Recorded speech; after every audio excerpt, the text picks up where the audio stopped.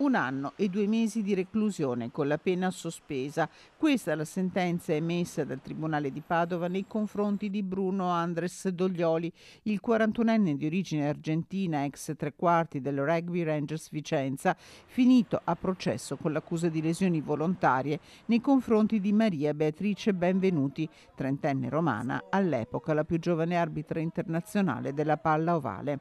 I fatti risalgono all'11 dicembre 2016, giorno in cui si disputava la partita di Serie A tra la squadra vicentina e il Valsugana nell'impianto di Altichiero a Padova. Le immagini dell'accaduto avevano fatto il giro del mondo, con il giocatore che dopo alcuni diverbi con la trentenne improvvisamente l'era piombato da dietro, colpendola con una spallata forte dei suoi oltre 100 kg.